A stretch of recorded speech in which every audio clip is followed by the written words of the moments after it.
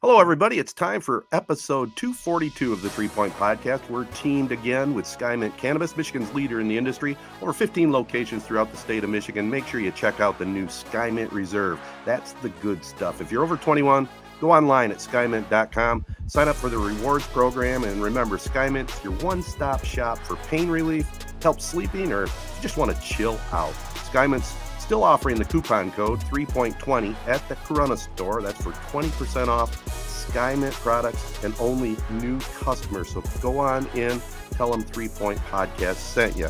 We're also proudly partnered with Memorial Healthcare, home of the Now Community Wellness Center. Sign up, get yourself in shape, and a whole lot more. The 115,000 square foot facility features a full medically based wellness center featuring state of the art workout equipment, fitness classes, and an indoor track, along with many, many other options. Memberships also include saunas, a lap pool, and locker rooms with private showers. For more details, go online at memorialhealthcare.org or give them a call 989 720 CARE. Our other local partners include AZEE Printing Solutions, Capital Sports Fieldhouse and Hit and Pitch, Crow Real Estate, and Auction, Nelson House Funeral Homes, Rivals Tap House and Grill, Success Group Mortgage and Servicing. We want to thank them, and we should have a fun pod as uh, we'll talk, obviously, catch up. We'll talk football, football, football, and we'll talk high school eight man football with Kendall Crockett, the head coach of the Morrice Orioles, in our prep spotlight.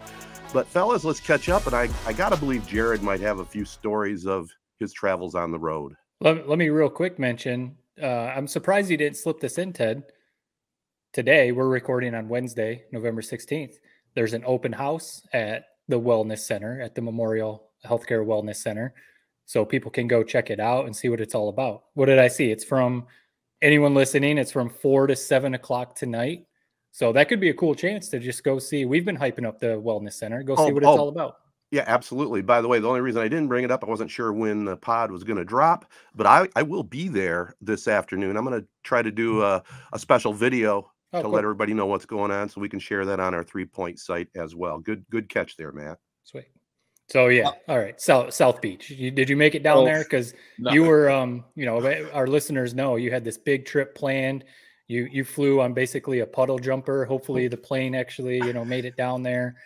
But you were You're also like texting us the whole time and you were like you were like yeah. doing you were like doing work down there. I was like, get off your phone and go enjoy South Beach. What are you doing? Yeah, well, so it was I mean, it was a great time. Um I will say this of the one place I can't complain about, or uh, one industry, the, the, airplane industry. I mean, Spirit, no delays, no awesome. problems. Walk like got right through TSA the majority of the time, right to the flight. Uh, so no complaints for me. Got Chick Fil A at the Detroit airport, no line there either. So no, it, it, that was great. Uh, but what I think I realized this weekend, and I've noticed it other places too, like Arizona. Um, there's just no no people like Midwest people, especially Michigan people, man. I mean, the, anywhere you went, the service, whether it's at restaurants, waiters, you know, Uber drivers, uh, just people in general at the mall, everyone's a jerk, man. The the, T, the, the TSA people at the Miami airport. Let me just first say this: the Miami airport is something out of like an apocalypse. Yeah. I was one. We got off of our flight, and I swear we had to walk two miles to get to our bags uh, on the other side of this airport. To by the point, have you guys ever like have your bags ever beaten you to the like carousel at uh, baggage claim? That's how far of a walk it was. I think 30 minutes at least. Um, and the ceilings in this uh, airport are just, I think, maybe seven feet tall. It, I, I, don't think Joel Embiid could walk through these airports, airport, which is weird. It, it made you feel like claustrophobic the whole time you were in there. Um, but anyway, one specific story. So on the Friday night before the wedding, uh, the whole wedding party was going to BJ's Brew House, uh, which is maybe a little bit of a weird spot to have like a, a wedding rehearsal dinner. Um, if you know BJ's Brew House, they're they're even here in Michigan. I, I knew there used to be one right across the street from me in Sterling Heights. Great spot. Uh, so we get there, and you know, first we put in our names uh, because we didn't we we were not a part of the wedding party. We were we had to sit separate from them, so they had a reservation. We just went there and put our names in. So we're waiting for an hour. Uh, they told us it was gonna be 30 minutes. You know, 30 minutes goes by, 45 minutes goes by, an hour goes by. Finally, uh, you know, my potential, I guess, cousin a lot. I don't know what that word would be. he goes in there like they finally like, feed us after after an hour. Finally, so we're sitting down. So that's just the start of the night. So finally, this wedding party rolls in. You know, we're there for probably 30 minutes. Uh, we, you know, get our food. Everything's kind of going normal pacing. This waiter is, is a little bit of a, is a weird kind of teenage guy, probably 20 years old. Uh, you know, earrings. I don't know, just a kind of a, a snarky teenager. And every time, and every time he comes around to take our order, he's got an iPad. So I kid you not, it's taking like 10 minutes to go through these orders because every time you place something, he's like typing it in right. manually every single time. So uh, it's whatever, not that big of a deal. We have a couple like weird moments. He's like constantly cracking jokes and uh, he's call, calling me boss and all these these other things. and the so, worst. So he leaves. Uh, you know, we get our food. He gets us a gets me one beer, gets everybody their drink, and we don't see him again. You know, thirty minutes goes by. We still haven't seen this guy to the point where again, my cousin-in-law, like he's been out of water. He's got this like huge steak. He hasn't had water in, in like twenty minutes, so he has to walk up to the bar to get it filled up this place is like packed to the gills. Like uh, it's it's rivals for Michigan, Michigan State. That's how this place looked uh, on the inside. Uh, so finally, an hour he comes back. I, I, like we're basically we have to wait for this wedding party. Which, by the way, this wedding party we have now been there for an hour. They haven't even gotten their beer yet. They that's how slammed this place is. They they can't quite uh, they didn't quite plan for this huge group, which had been reserved for months. Um, so, so we're basically we were like, okay, we got to wait for these people because the whole plan was like we're going back to this Airbnb after this to as a group to you know party or whatever. So we don't really have anywhere to go. So we're like, all right, we'll just wait. So we when he comes back around, like everybody kind of orders a drink. 30 minutes goes by. No, no word. Finally, like 45 minutes goes by. I kid you not on this timeline. This is legit. 45 minutes comes by. He comes back. All right, I'm gonna get you your beer. Okay. I'm like, all right, like, okay. 15 minutes later, still nothing. He comes back. He's got uh he's like looking around frantically for I guess he has this little like card reader that he lost uh, somewhere in this restaurant. So basically he's he can't work unless he has this card reader because as I know this iPad was basically his lifeline. So he's like p- flipping over plates, looking all over at this like booth we're sitting at, trying to find this card reader. He can't find it. So he just like frantically like walks away. As he's walking away, yeah, I'm still gonna get you your beer. Okay. And then so now it's hour later. He comes back and says, Yeah, I don't think I'm gonna be able to get you guys your drinks. We're like, at this point, we're just gonna get out of here. So yeah, all right, whatever, man. It's not that big of a deal. Uh, so he comes back with the bill. The bill, the, all of our bills have the the drinks that we didn't get. So then he realizes this, and, and we're like, wait, I thought we weren't getting the drinks. Oh yeah, you're getting the drinks. You didn't. You thought you weren't getting the drinks. So then, okay, this guy clearly screwed this up, but just didn't want to have to redo the bill.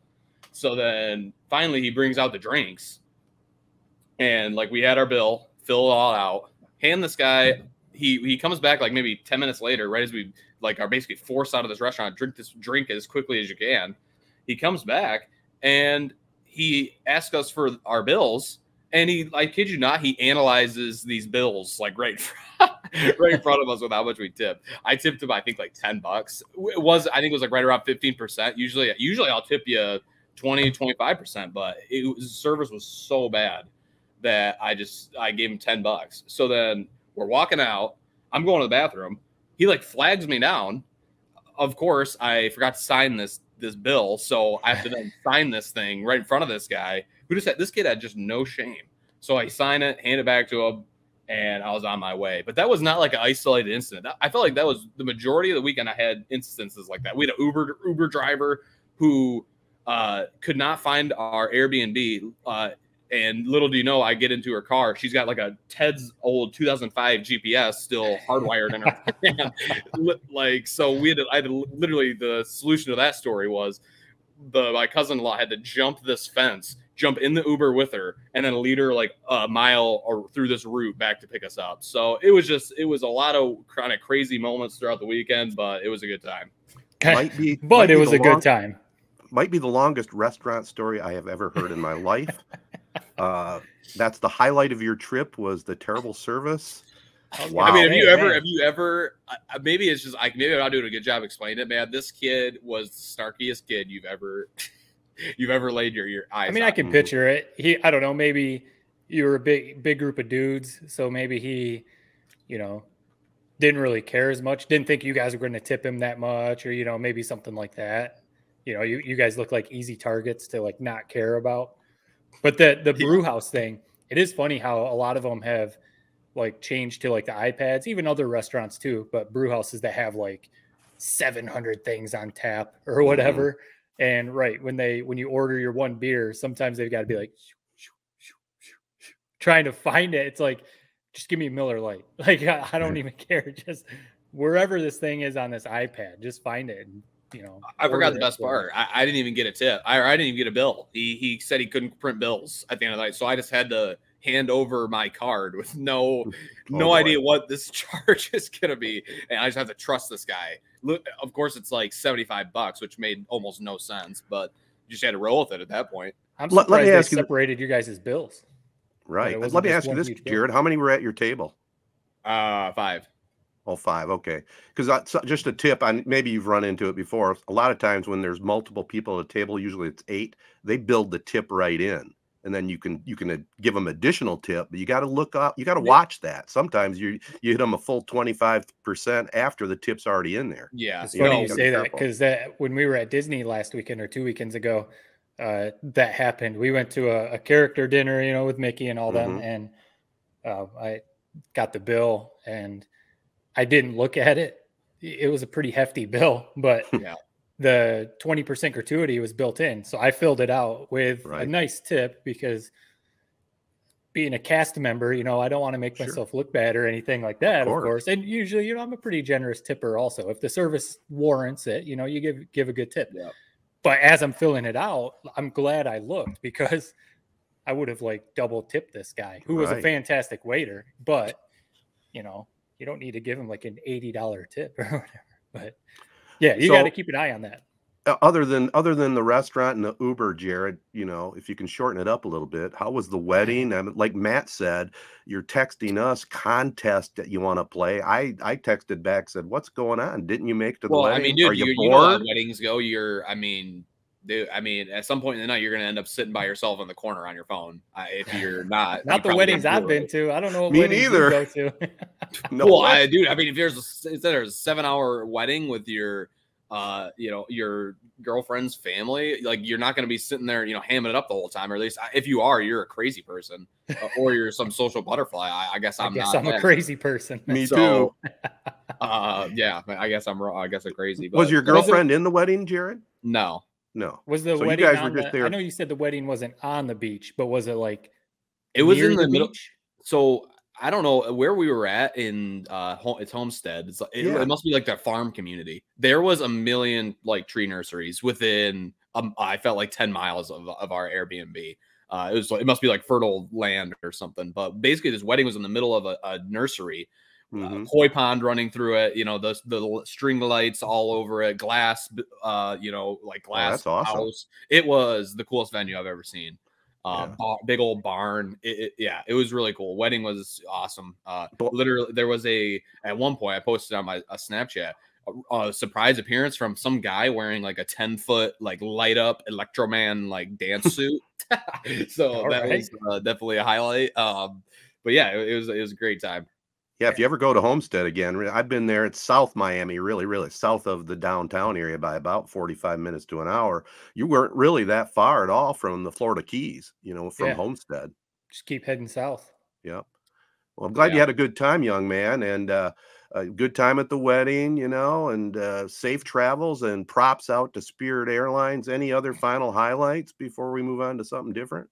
No, uh, no, I, I mean, it, it, the weather is is always it's it's always hard coming back, man. I mean, I, it's right Yeah. as I came back, we're getting slammed with snow right now. I'm Yeah. looking out my window, it's snowing. Commute's I was gonna, going to be say, hell. my my sister sent a picture yesterday. Um, I guess it was a built-in day off uh, for actually Morrice schools. We're Mhm. going to talk That's about awesome. Morrice again Yep. pretty soon. But she sent a picture of her son, my nephew, you know, excited because it was snowing, and uh, so she, you know, she said, you know, he's he's excited, you know, day off school and snow. And it's funny, my wife and I both replied. You know, it was a, a group text with my family. My wife and I both re- both replied like, "Oh, is it a snow day?" and you know because we're in the you know we're already acclimated i guess to north carolina that, that basically any dusting of snow is going to be a snow day and you know my sister said no it's not a snow day you know it was it was a built-in day off of school but you know it is snowing But it is crazy because I think up north, I mean, obviously the UP's been getting snow already for a couple weeks, but I'm pretty sure my parents up in Ludington, at they got like six inches or something. You know, yeah. some areas over there, and you know, it's cool. My, my you know, because we still talk. I know I've talked about it on the podcast. We still talk about moving back to Michigan, and when we see stuff like that, my my wife texted me and she was like, "Does that snow make you want to move back to Michigan anymore or less?" And I was like, "I love the snow, but it's only mid November." Like, yeah, I don't know. It, it's a long win- it's a long winter for sure. Yeah, uh, I can't complain too much. I mean, we had a good run this fall. We, we got a lot more fall than we normally do. So yeah. you know, it kind of was it kind of was just expected at this point. So now you just roll with it. Well, and, for, until Easter. The the nice thing for me, boys, with the snow, uh, my hot tub was delivered this week. We've nice. uh, been in it a couple times. I'm I'm enjoying life outside, man. It's nothing like getting in the hot tub when there's snow on the ground and it's cold, 104 oh, yeah. degrees in the tub, man. I love there it. There is there. I mean, obviously, a hot tub is cool. I, I like hot tubs. They're cool year round. Mm-hmm. There's there's nothing better than in the winter, like you said, when it's snowing, especially if it's snowing and you know there's snow around.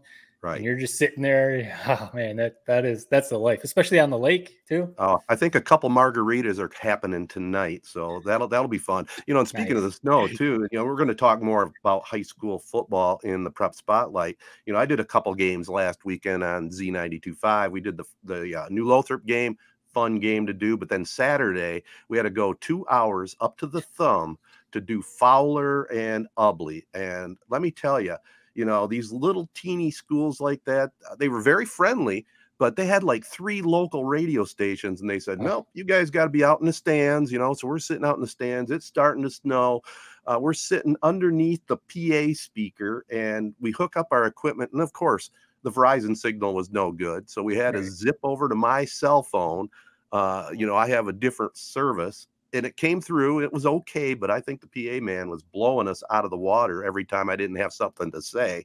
So that was a long day right there. At least it uh, was an afternoon game. So I mean, God. if it was a seven o'clock kick or something like that, that would have been rough.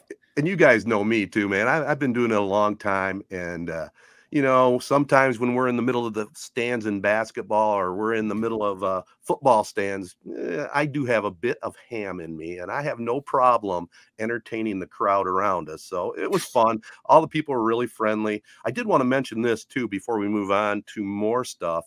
Uh, last week I talked about Veterans Day and you know our relatives in the in the service. I forgot. Um, I don't know what he would be called either. He's the husband of my niece, but I'll just call him my nephew-in-law Matthew Quick. He's an ensign in the U.S. Navy as a surface warfare officer currently in San Diego. And Matt, you know, I, I reached out to you because my sister was trying to see if there was any way he could get tickets. He was running into a roadblock with the military. And like I said, he's an officer in the Navy. He finally was able to score tickets. And after the game, after the, the game on the uh, on the uh, the ship, you know, where they lost a close one to Gonzaga, uh, he got a chance to meet Tom Izzo. So oh, nice. got a nice picture with Izzo, and uh, it all worked out real well. But again, want to salute him for his service in the military. Yeah, that that is cool. I'm I'm glad they were able to get tickets because, uh, you know, when, when, people have asked before about, they know I work at ESPN. Not that I have some crazy pull at oh, ESPN, right. but you know, right. they ask like about tickets, and it's like I can ask around, and like I, I texted you guys that tickets for that, you know, on the USS Abraham Lincoln out there in San Diego were pretty uh VIP, I guess, you know, yes. pretty they were keeping them pretty tight. So I didn't think I was going to be able to just all of a sudden hook them up with tickets, but you know, I figured I'd ask. So when you sent those, I, I was right. glad they were able to.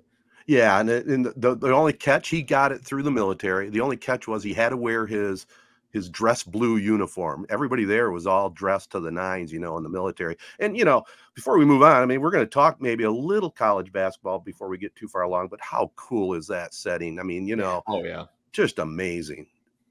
It is. It, I, I, hope they continue to do it, which I, I am sure they will. Because I would it, think so. It's one of the coolest college basketball, especially for these games in November that, frankly, don't mean anything. You might right. as well do something cool. Neutral sites on a battleship. I mean, man, it pretty cool. Yeah, it, that's got. I mean, I, I I I still to this day now I have a new one to watch. I I'll watch like the full game record of North Carolina versus Michigan State 11 11 11. I mean, mm. one of mm. my my favorite regular season game yeah. uh, ever played. I mean, that was cool. And this one, same exact setting. It was yeah. it was just incredible. I mean, Mark Hollis, Michigan State's former AD. I mean, you talk about a guy who was a real visionary with this and the Champions Classic. You got to give him credit, man. I mean, he was a hell of an athletic director. Oh, he really the, was. The he, biggest. Go ahead, Ted. I was just going to say, I thought he got kind of railroaded just because of the whole Larry Nassar thing. You know, I thought Hollis was an outstanding athletic yeah. director. Yeah, it's that it's kind of a big deal. Well, right. no, yeah, we don't need to get it. We don't need to get into that. No, I who know who knows. I know what you're saying. Was I know what you're saying. In the basketball sector, he was right. good at that that aspect and helping the program. Yeah, yeah, and that uh, it's funny the the Champions Classic, um, because you know down here Duke, North Carolina, that's all anyone talks about really. People last night were because last night was the Champions Classic with Duke, Kentucky, uh, Michigan State, and Kansas.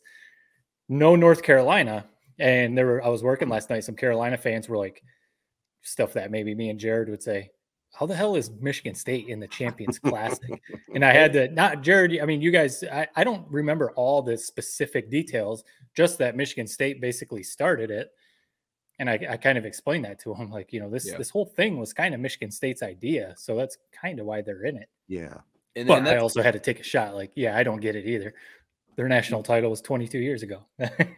and I've I've said before, you know, there's times we laugh like they don't deserve to be in it, but hey, they won it this year, so you can't say that for at least 365 yeah. days because they won their game this year. So no, they, they I, will take a shot anytime. Anytime I have a chance, I'll take a shot at Tom Izzo and Michigan State. But they're obviously one of the best programs in college basketball, so they deserve to be there. Eight Final Fours, right? So yep. they've, they've got something to say. Look at Ted's not even going to say anything. Ted's well, no, you, you always had you always had your bets trying not to piss off Sparty fans. You, you, you send a dig, then you go, but that's what cracks me up. right? Yeah. Fair enough, though. That's how we operate. All right. Hey, we're going to talk uh, some eight man high school football here in the state of Michigan as uh, the state finals are coming up this weekend in eight man and the uh, semifinals in 11 man. And we'll have the prep spotlight presented by Capital Sports Fieldhouse right after this.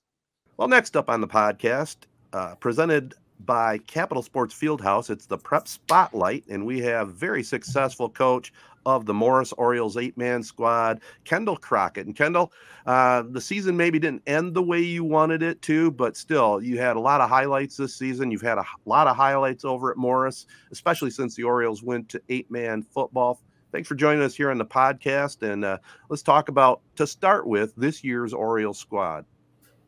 Uh, you know, overall, uh, 15 kids, 14 that could suit up over the course of the season, and there at the end.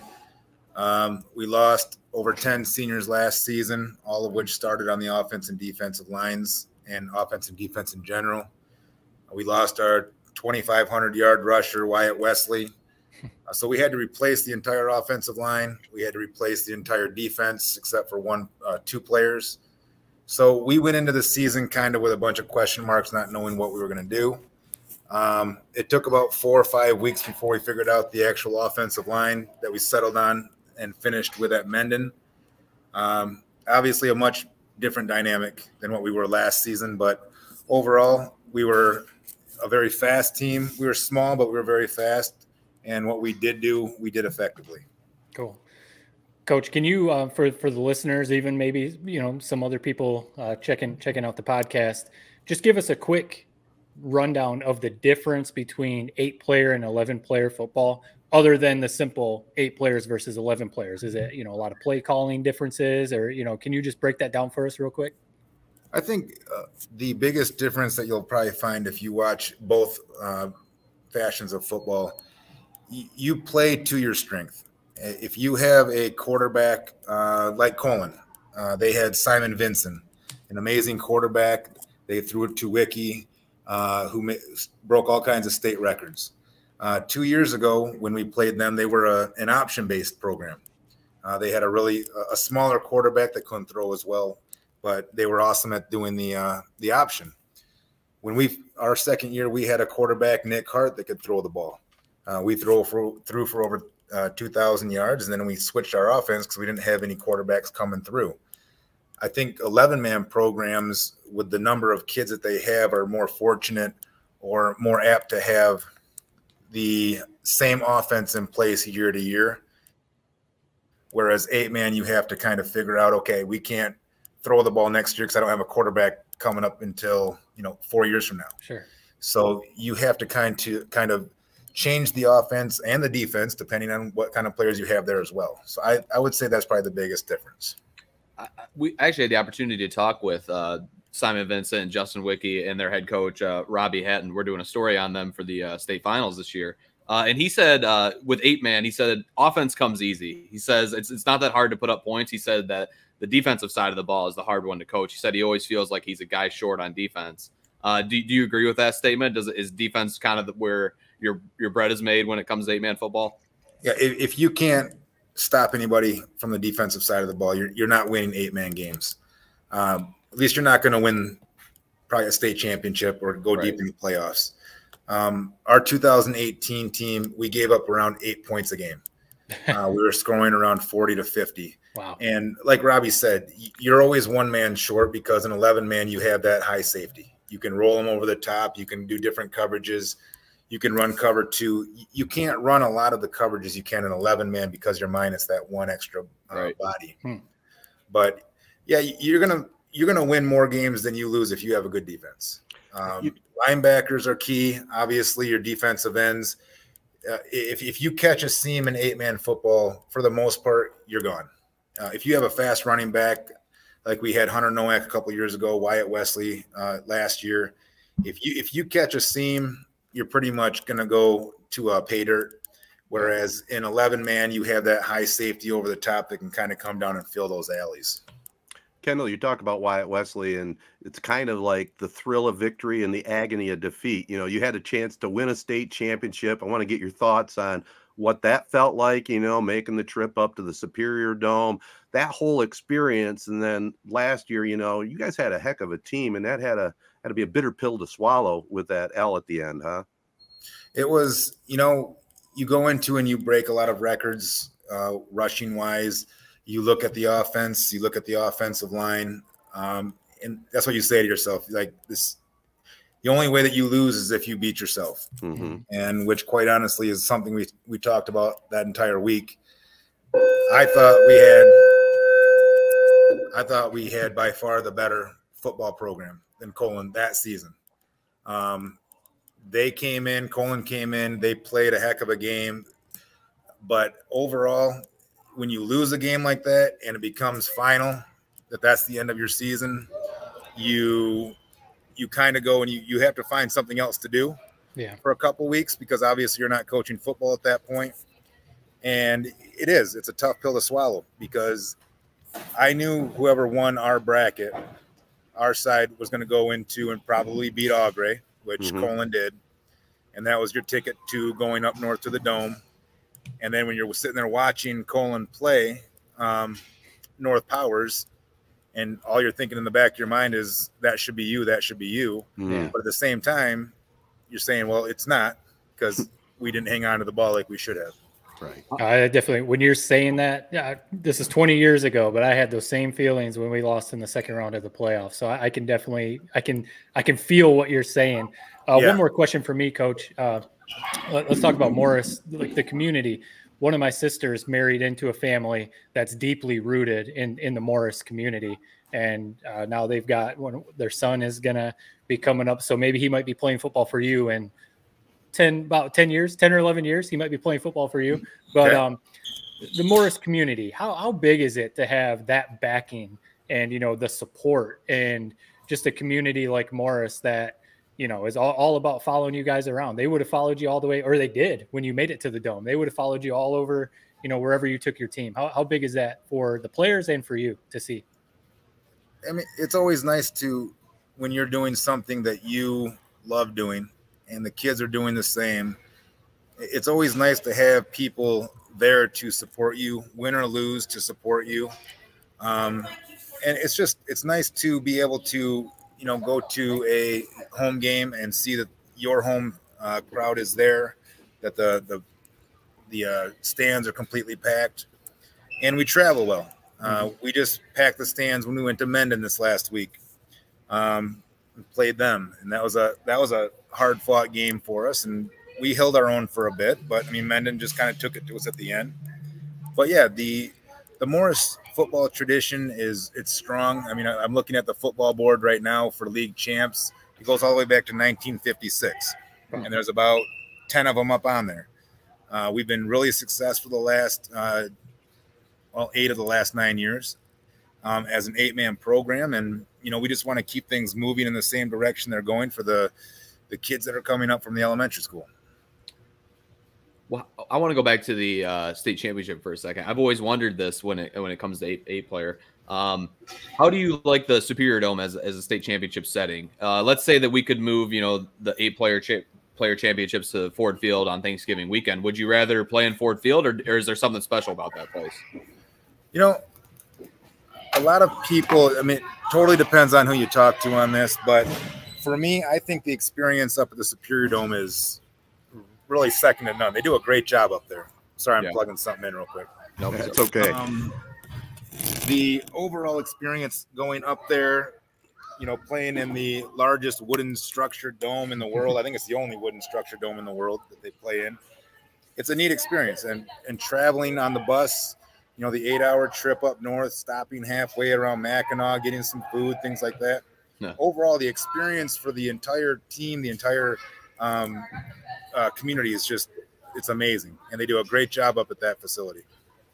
Yeah, I agree with you, uh, Kendall. Uh, I've done a handful of games up there, including state championship games, and in fact, in fact, I think we did your uh, your state championship up there. But uh, it is a great facility. Uh, you know, the whole trip with the team, it's a team bonding thing. It is really cool. But the question I have for you is, uh, I don't know if there's been talk about it. You know, I know you guys in eight man football play one less playoff game, but that, has there been any talk about that uh, semifinal should be at a neutral site and not, you know, at the at the home team with the more points. I mean, I thought that was a little bit unfair. I think it should be the same as 11 man and neutral site on turf. Yeah, um, I think a neutral field would obviously be good for both teams. Uh, Mendon would probably disagree. They probably enjoyed having home field, uh, as would I if I had home field. But um, moving forward with the teams that are coming in, I think we're getting about five to ten more teams this year. And when we get those teams in, maybe when we start getting bigger to the point where we're like a Division Eight or a Division Seven, maybe we start following some of the the parameters that are set in place for those other teams. All right. Well, we're going to let you get back to your hall monitoring duties. It looks like uh, I got to send a shout out though to well, we'll call you Mr. Morrice Football. No question, your success over there has been unparalleled. I think, uh, Mr. Morrice Sports though, Andy Flynn. I got to send a shout out to him. He's an old timer like me. He lives and breathes Morrice athletics, and uh, I know he's been a big part of of stuff you do. Right?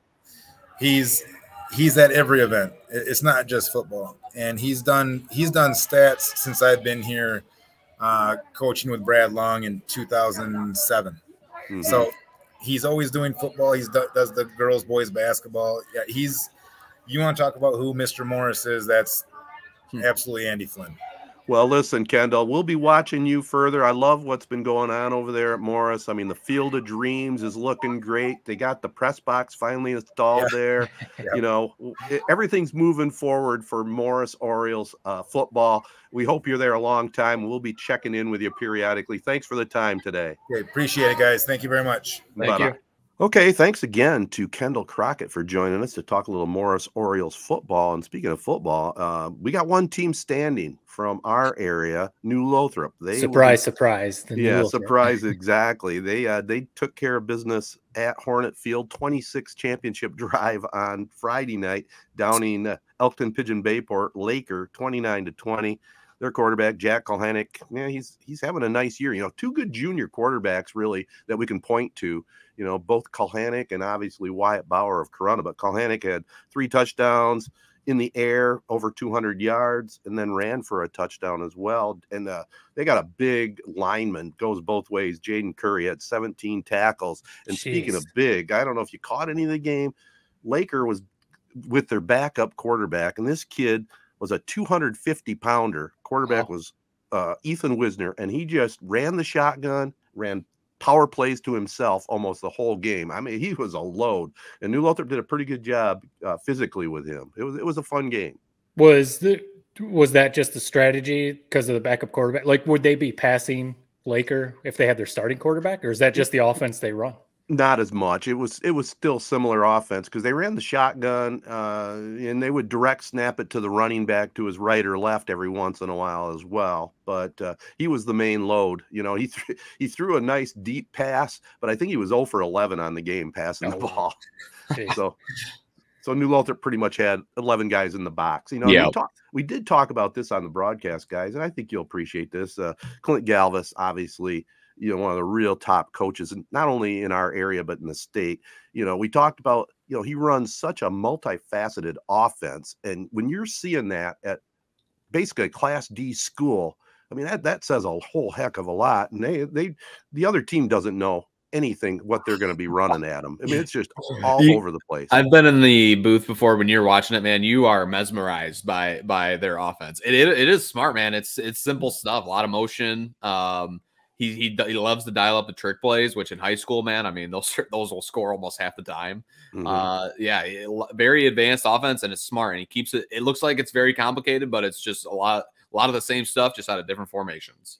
Mi- misdirection and like really it doesn't have to be like trick plays it doesn't have to Mhm. be like the triple reverse running back pass you know it, it sometimes in high school if you can execute it that's obviously the big part all you have to do is like a little misdirection in motion like you said jerod and yeah you're going to throw the defense off even in the playoffs even against some of the best teams in the state because you know you can't really prepare for it but we've talked to clint galvas coach galvas on the podcast a number of times and I'm just always so impressed at the commitment to the program that the players have. Because, Mhm. you know, just thinking back to my time, you know, you, you think about your experience when you're talking about this 20 years ago when I played, we were very committed. We were for sure. I'm not trying to shortchange anything, but we also, a lot of us played multiple sports. Or to be honest, a lot of people, you know, were farmers or, you know, had had other things that they were very committed to. And to hear coaches like even John Webb with Durand, you know, talking about the commitment that the players have. You got to have that. If you're going to run an offense like that, you can't just like in July be like, "Hey guys, we're going to we're going to throw this offense at you. Let's let's see if we can get it by our first game." You know, so Yeah. it, it is impressive.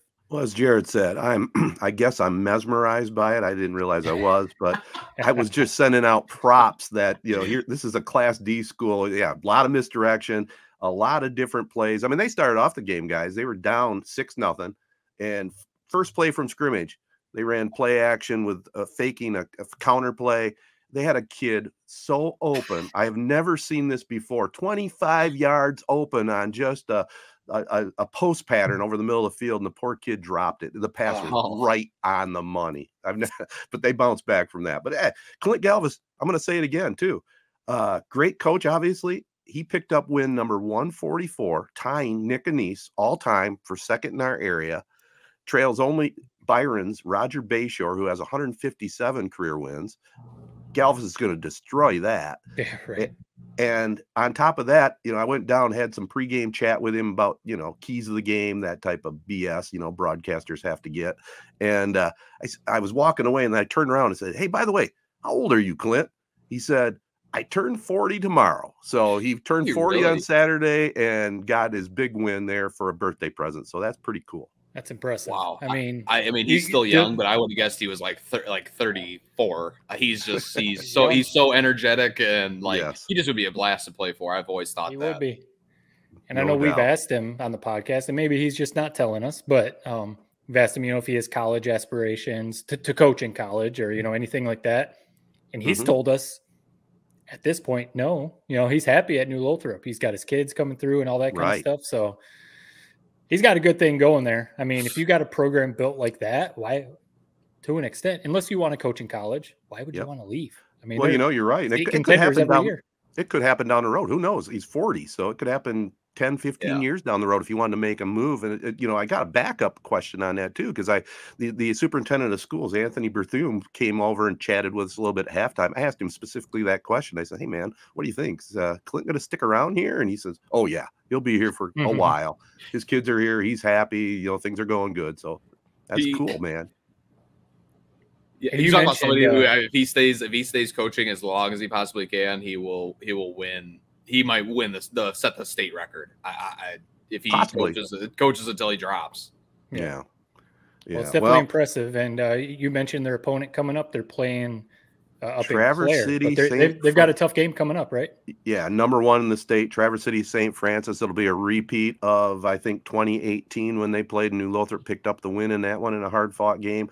I mean, the, the stat that just totally jumps out at everybody is, you know, Traverse City, St. Francis pounded, you know, number three Ithaca 63 to nothing. I mean, Wow. think about that. It was I think it was 50 to nothing at half. Wow. It's incredible. So the Hornets are going to have their hands full. You know, I, I got a feeling they're going to be ready. Can't come right out and say they're going to win, but uh, you don't, you know, they saw that score too, and they're going to say nobody in the state, nobody in the country would believe we can win this game, and they'll they'll have that chip on their shoulders. I think. Yeah. All right. Well, we're going to talk a little uh, football, college and pro again. All our teams won last weekend. We'll get into that right after this. All right, guys. So we posted it on our Facebook page, and it, it's been a back to back weekend. Ted, I think you mentioned it in the open Yeah. of posting three wins by the Spartans, Wolverines, and Lions. We don't get that very often. Eh, Someone always Polar eclipse, man. Someone always Yeah, end of the it up, world. you know? but uh, to, to start off with the Lions, I mean, I think I know where you guys stand because you you you made your feelings well known either last week or you know a couple weeks ago when they were when they were losing some games. Anytime the Lions can win back-to-back games against division opponents, Packers and Bears, like they've done, I will take it. I understand the whole lose, get a better draft pick, you know, try and build a program, try and build up your team. I think that's true for maybe a team like the Packers, maybe like the Rams this year, even though the Lions have the Rams draft pick. But, you know, they won the Super Bowl last year. Maybe they're a little down. Let's lose. Let's try and, you know, build up for next year. I don't I don't subscribe to that narrative with the Lions. They need to change their culture. They need to change the same old Lions mindset. They need to start winning games like they did against the Bears, which we've all seen since before Ted could grow a mustache. They usually lose those games. Anytime they're in a close game, they lose those games. They need to start winning those games. When Justin Fields was breaking 27 tackles on that last play of the game, trying to throw, I was like, they're going to lose this. He's going to Mhm. throw a dart 60 yards down the field, and the Lions are going to lose this because that's how it's always gone. They need to start winning games like that. I don't care about the draft. They need to start winning games and get people in that locker room saying, this is not the same old Lions. We can actually beat Justin Fields. We can actually win those games. And then maybe some free agents will start sliding in. Maybe some people will stay buying in for 17 games instead of being checked out by Thanksgiving. I understand the draft side of it, but I, I want to win. I want to see the Lions win games and change that same old Lions mindset. Are you, guys still saying lose out or is Uh, here's where I'm at. If we beat the Giants next week, then this would have been worth it. Uh, if, you, if we beat them next week, I mean, we're, we're hot. We're rolling into Thanksgiving Day against the Bills, and one of the more anticipated Thanksgiving Day matchups that we've had in recent memory. So if we win this and the Lions are on a three game winning streak rolling into Thanksgiving, I, I'm for it. But uh, if this proves to be just a you know a facade, which I think it most likely will uh, this weekend against the Giants, then it's just it's just at the end of the day, it's just affecting our draft uh, capital. I don't hate the idea of winning a couple games. I'm always going to be there because uh, to root for it because I love these post game uh, Dan Campbell speeches. uh, so I, I'll root for it. But I think the thing that my biggest takeaway from this weekend was, and a lot of people's this you know last few, five weeks has been Justin Fields. I mean, he's going to be a problem to deal with for for the foreseeable future, uh, and that's just a little bit unfortunate. Kind of the Bears were the one team that we thought we kind of had the leg up on uh, in terms of kind of building for the future, and it doesn't look that way anymore. I mean, he's incredible. Most most Yeah. most rushing yards by a Q, QB in the Super Bowl era th- these last five games. I mean, 178 yards a week ago, 142 against us. Uh, I mean, that one run he had, he's he's uh, it's it's incredible how fast he is. I mean, is he faster than Lamar Jackson? He's if he's not, he's got to be pretty pretty darn close. He's electric.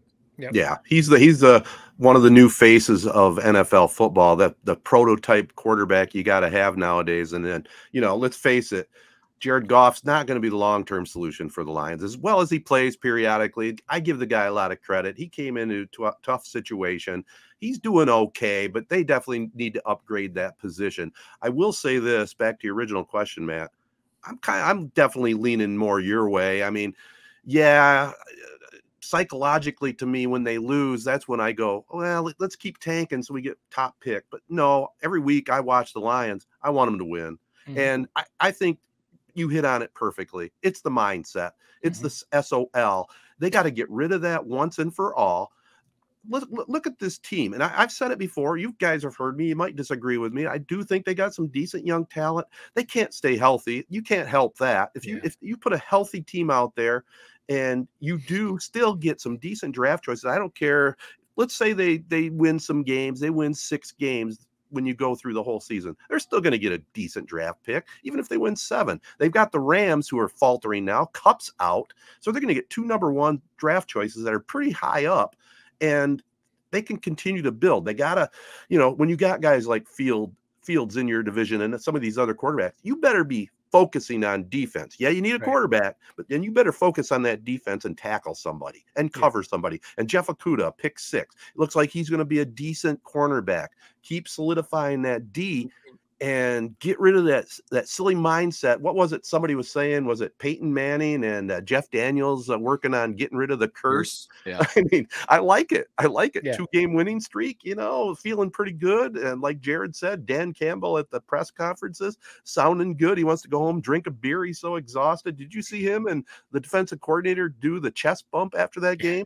This team this team's together still. You know, yeah. they love Dan Campbell, and that says a lot. That might, you know, that might be good. Even uh, it will overcome some of his coaching flaws that maybe he'll get better right. at. And that's my thing. Like, no, like I, I, get what you're saying, Jerod. Like, if all of a sudden they lose to the Giants, lose to the Bills, then we're like, all right, what, what was the point of beating the Packers and the Bears?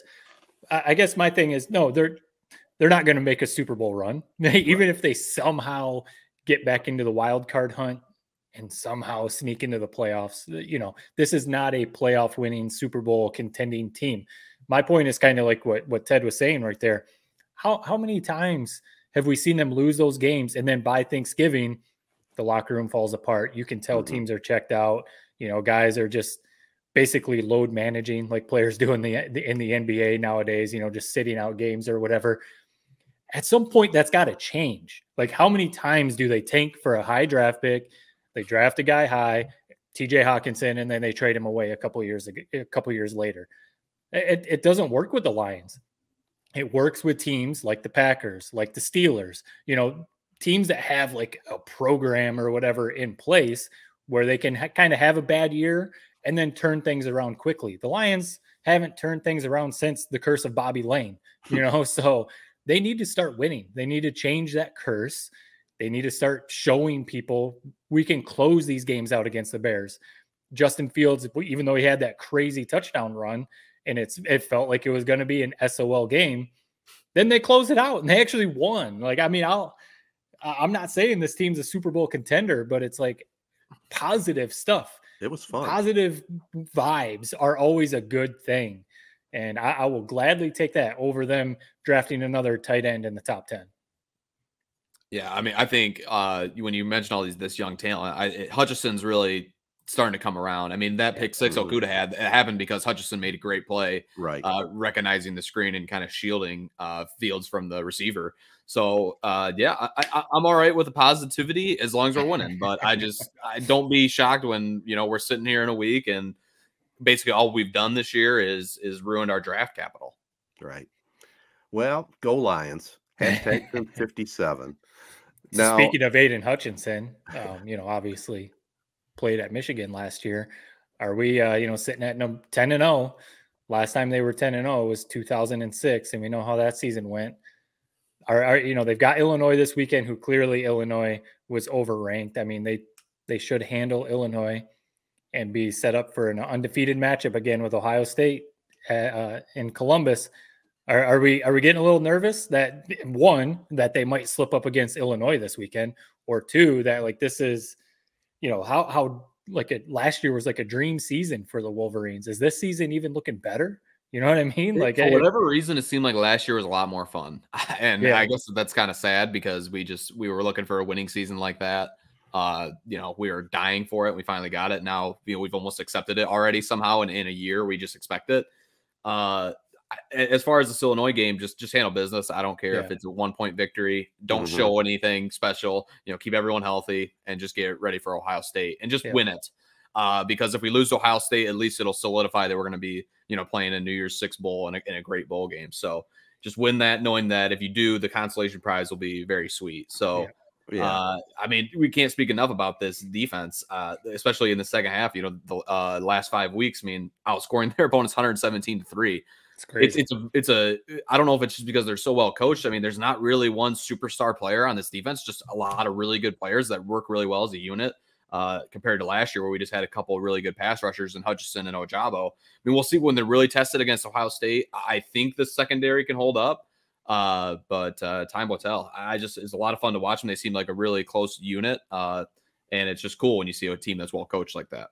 Yeah, I like what Harbaugh's doing. I mean, you know, a lot of people are obviously making the comparison to Bo. You know, run the ball, run the ball, and pick up wins. And they're ten and zero. They look good.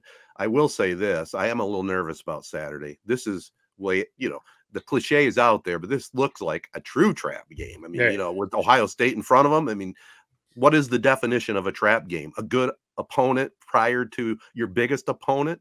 It's a little scary. I will Yeah. say this: it, it, it amuses me to see all the people on social media, especially the diehard Michigan fans.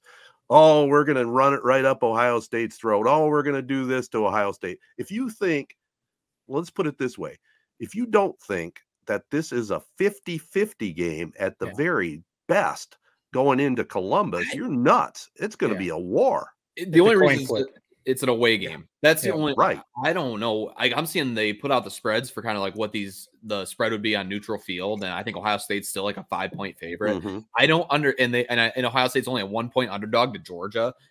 I, I, don't under or I think actually Ohio State would be was favored against Georgia, Right. uh, or or basically a pick 'em. I don't understand this infatuation with Ohio State. What have we seen this year? Right. They, I think the offense was better last year, I, and maybe the defense is a little bit better. Uh, but I- just don't understand it. You know, if we do lose this game, it's just going to be because uh, you know playing on the road is is almost impossible in college football. I don't think it'll be because Ohio State is straight up a better team, but I could be proven wrong. I mean, they've definitely done that to us a few times in the past. Right. It does it does feel like the home field will be big, obviously for Ohio State. I'm not thinking we're about to have a Blake Corum runs for 300 yards type of thing against them. I feel like other teams have probably done it too, but I feel like Ohio State, given what happened last year, how Haskins and Corum just ran all over them, and seeing what Corum's been doing this year, you would think Ohio State is going to say, we can't let Corum run for 250 yards. We're going to make JJ McCarthy beat us through the air, which, you know, he's been a last few weeks a little inconsistent through the air. You would think that might be the mindset, but no, like the, the, the confidence. Yeah, I, I feel pretty good. I think Michigan, because of the stats you laid out, Jerod, for their defense and, you know, how the offense has looked, the offense has been fine. You know, a lot of people mm-hmm. criticizing JJ McCarthy. Like, really, he's still playing well. He's not turning the ball over. He's hitting the passes when he needs to. But no, Ohio State's going to be ready. I mean, there. I don't think it's going to be any sort of blowout. I don't think we're going to see complete domination. I, I could be wrong, but I, think Ohio State's going to play, you know, a completely different game than they did last year in Ann Arbor. And Mhm. you know, maybe I'm wrong, but I, I think same thing. It's a coin flip. You know, And- they're. But I, I'm kind of with you though, Jerod. I, I don't get the infatuation. I mean, it's Ohio State, so they have the tradition or whatever, but They're they haven't shown anything that's more impressive than Michigan or you know, obviously Georgia or anything like that. Yeah, you and you mentioned JJ. I mean, people people hate on because of his he didn't have a good looking stat line, but I mean, eight drops uh Mhm. last week. Mhm. This wide receiver room, we talked about how it was a strength Yeah. going into the year. I think it's the worst unit on this roster. They Yeah. are they have no speed, man. It's like they're running in quicksand.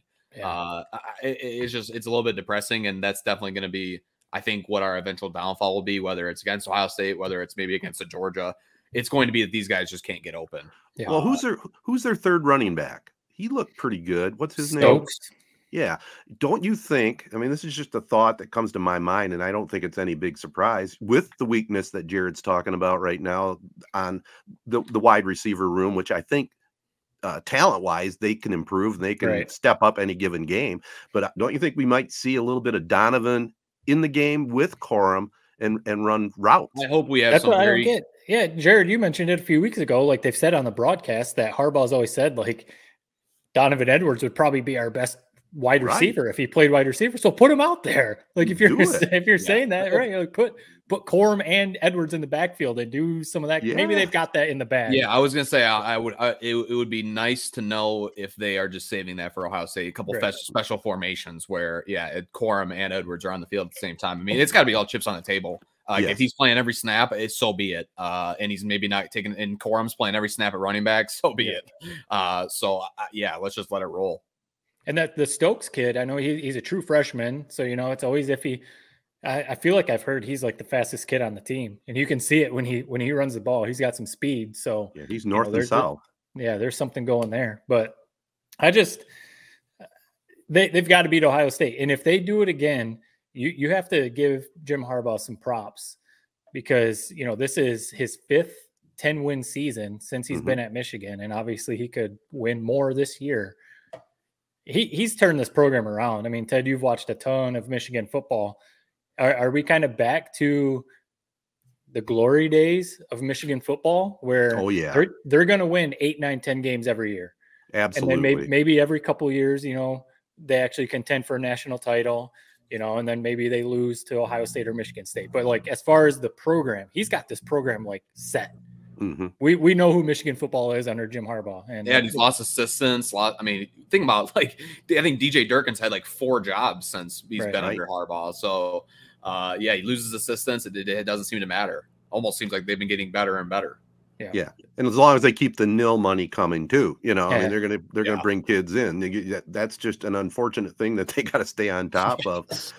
What do you guys think about the future of the Big Ten? You know, with the addition of the the, the two schools out west, and I think there's going to be more. Are they going to get rid of the divisions? I hope just, so. Just It- play a schedule and then have the two best teams play for the, or have a four team playoff at the end of the year, something like that. I don't understand the, the need for divisions. I, I really don't. I- Why? Why? It's it, and you see the result. I mean, I, every week I feel like they post the standings on ESPN of like the Big Ten West, and you just look at it, and it's it's a it's it it makes you angry because you know that the Big Ten championship game there's gonna be no hype around it. Uh, Mhm. which it should be very hyped. I mean, I, I remember Michigan State versus Wisconsin. I mean, what a great game that was way Right. back in the day with Russell Right. Wilson. We haven't. I feel like we've rarely gotten the two best teams in that game uh, since that game. It will be interesting to see what they do. I, I think there's like a reason that there has to be divisions for scheduling or whatever, but you could easily just have everyone in one big division and just, you Mhm. know, do the schedule that way. rotating They- schedule. Yeah. Right. Rotating schedule, keep the couple like rivalry games or whatever. But Are you guys they, they sitting need down? to change something up because if right, you guys are if you're sitting down man you're going to be shocked at this statement i'm okay Wow. if they don't play ohio state at the end of the year wow. how about that Like at all? Or you're saying no like play them maybe play them but not at the, not the week 12 or whatever. If that's their like concerns, they don't want. If that's like the big thing, they just want don't want Michigan, Ohio State playing each other. I, why? I, don't understand that thought. Let's like if you were them, I mean, that would do so many numbers on television uh, ratings and revenue. Why would you not like do everything in your power to basically have that be a rematch every year? Well, that's why you got yeah, that's why you got to get rid of the division. Even if they play each other unbeaten in the last game of the yeah. season, they play, play again in the game. Big 10 championship game. I'm I'm okay with that. It's the same thing as 2006 when it was 1 versus 2 Yep. And Michigan lost, and there was the whole debate of do they turn around and just play again in the national title game? I mean, they turns out that was that was the right decision not to have them do that. Yeah, yeah. The bowl games that was the start well. of the SEC dominance that yeah. year. yeah, that was that was ugly for both teams, but it'll be fun. I mean, and we all know it's all about money. You know, Absolutely. we say it with a lot of things, and the the ratings. As long as Ohio State and Michigan take care of business this weekend, I can't even imagine the ratings that are going to come in for that that big noon kickoff for Oh, Fox, boy. Wow. Michigan, Ohio State, two Huge. versus three because Georgia's Yeah, probably still going to be number three, one. Yep. right So it, it's insane. It'll be awesome. Well, you know, uh, we've been sending a little bit of love to our friends over at East Lansing as well, fellas. Before we wrap up the podcast, uh, again, Mel Tucker comes up with another win. I think you tweeted it, Matt. I mean, they're they're real close to being bowl eligible, and you know, if they get to a bowl game and win a bowl game, man, this tough stretch of the season for Michigan State. State's going to be kind of washed away. Yeah. It it will. Uh, I mean, we've talked about that state football team. I think if you're a Michigan State fan, you want to hear us talk about this basketball team with, a, with the few minutes we got left. So I think they're okay with us just going to them. I mean, watching that game last night, Yeah, uh, Tom Izzo was vintage, man. He was dialing it up at the end of that ball game. And and a lot of people kind of criticize have always criticized his whole timeout t- technique. I know we were talking about it before uh, the pod. I've been for it. You know, I maybe wasn't in like 10 or so years ago when you had so many seniors on the floor, but nowadays, I mean, you see it in, the, at, at, at March Madness every year. These last second shots are just the point guard dribbling around at the top of the key and then hoisting one from Steph Curry range. Uh, I love the idea that he's been calling these timeouts. He had a perfect, you know, blob underneath the rim. Uh, gave credit to his assistants after the game, and then we saw that uh, the full length uh, inbound play to send it to overtime. I mean, just beautifully dialed up. Kentucky, the guy on the ball, perfectly fell for it. Thought he was throwing the ball inbounds, and it gave him enough leverage to you know go over the top. I mean, Great and then play. my last thought on this game, uh, Sissoko. I mean, I didn't know who he was until the season started. He's been very impressive. I mean, Yep.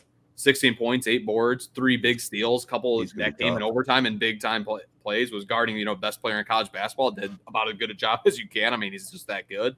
Uh, so I've been really impressed with him. So I, I, He's a good player. good, man. It's it's a it looks like a classic Izzo team where at least right now they don't have like the one Cassius Winston type of star. They've got Mhm. a bunch of scrappy players, you know, a few players who obviously obviously stand out. Like you know, you're mentioning the whole ranking thing real quick. They they should be ranked. They they Yep. shouldn't have been unranked coming into the season. So the whole like Michigan State's unranked. Just if you if you don't want them to be top five, put them at like 18 or something. Mhm. You know, it's it's kind of like what the whole Michigan State's unranked they they they're going to be ranked now because they almost beat Gonzaga, they beat Kentucky, so they they're definitely going to be ranked. It's a good team, and you know Izzo, as much as I take shots at him, I, I still don't like him as a coach. You know, I just don't don't like his style or whatever. But he obviously can coach his tail off, and the whole timeout thing, real quick. I mean, that's just I, I like seeing I like seeing coaches trust their players. You know, I, I understand calling a timeout. Let, let's let's draw something up. But I think it, you know, it, it allows the defense to get set too. Obviously, it worked out last night for Michigan State against Kentucky, but you know, the the whole um, I don't know, draw drawing plays up. Kentucky didn't do it, and Calipari is a great coach, and they obviously did not execute their plays. The whole the, the play I was going to mention where you where they threw the ball like across the um, the out of bounds line and they threw it from out of bounds to out of bounds and then they went for the that's straight out of the John Fattal. That's straight It out of the John Fattal playbook, man. We- Frank we ran- Davis. we we ran those exact same plays. It was it's funny to see that. I'm I'm pretty sure your your dad Jerod would, would admit that. I think he stole plays from Tom Izzo. Yeah. I'm, I'm pretty sure. But Yeah. no, Spartans Well, will be good. And real quick, Mich- Michigan's looking pretty good too. I think Michigan's got a solid team. They've you know with Dickinson and some of their young players, uh, Michigan, Michigan State are going to be two good teams this year. Yeah, Jett Howard, baby. He looks like Mhm. he's a keeper. Yep. You know, like he might he might know what to do uh, when the coach tells him what to do, right? Yeah. And I will say this back real quick to, to, to my viewpoint on the timeout. I think I- I'd go probably 85% of the time, coach has got to call the timeout. That's just me. You know, Okay. sometimes it's a feel when you have, like you said, a good guard like Cassius Winston or somebody else and let it go. But I, I would say the majority of the time you call timeout. That's what you're paid for. I mean, you get a lot of money, right? You know, diagram that play. And Izzo, you know, he's one of the But you've been getting you've been getting a lot of money to coach them up in practice too. That's so they true. should be they should be prepared for a moment like that, right? Very true, but uh, Izzo is probably the best there is at diagramming a play and coming out of the huddle and, and the team run it successfully. You I'm, agree with I'm that? looking in your I'm looking in your man cave right now. Do you have an Izzo poster back there, or you know, Oh, do you have an Michigan Izzo? State uh, books here, maybe, but I, I I love Tom Izzo. Don't get I'll me tell wrong. You So know that. uh, when Izzo hangs it up and he writes his memoir, I'll, I'll be I'll be reading it. So oh, Amen. oh, for sure. I you know he's I take shots. He he's obviously a legend. He he's a hell of a coach. And if he was Michigan's coach, I'd probably love him. That that's probably part of why I don't like him because he's That's fair. That's Yeah. that's totally fair. All right, guys, let's get the heck out of here. It's been a fun podcast. This has been the Three Point Podcast presented by Memorial Healthcare, home of the Now Community Wellness Center. Sign up, get yourself in shape, do a whole lot more. Great facility. I mean, fitness classes, indoor track, a whole lot more. Check them out online at memorialhealthcare.org or call them up at 989-720-CARE. We're also teamed with SkyMint Cannabis, Michigan's leader in the industry, many locations throughout the state. Check out the new SkyMint Reserve, the good stuff. Go online at skymint.com, sign up for their rewards program, and don't forget at the Corunna store, use our coupon code 3.20 for 20% off SkyMint products for new customers only. We also want to thank our partners, AZEE Printing Solutions, Capital Sports Fieldhouse, Crow Real Estate and Auction, Nelson House Funeral Homes, Rivals Tap House and Grill, and Success Group Mortgage and Servicing. This episode of Three Point Podcast recorded at StreamYard.com. And don't forget, Thanksgiving weekend after that big Michigan win over Ohio State, Mm-hmm. watch that at Rivals. Then check out Chi Town afterwards, making a hometown appearance. It's going to be jam packed, a lot of fun, and uh, come on out. This uh, Saturday afternoon, 1 o'clock, New Lothrop taking on Traverse City St. Francis. Uh, that'll be uh, a big matchup, a tough task for the Hornets, but I think they're up to it. And you can hear that game on z925.com. So that'll do it. Until next week, so long, everybody. Peace and love. Be kind. Thanks for listening.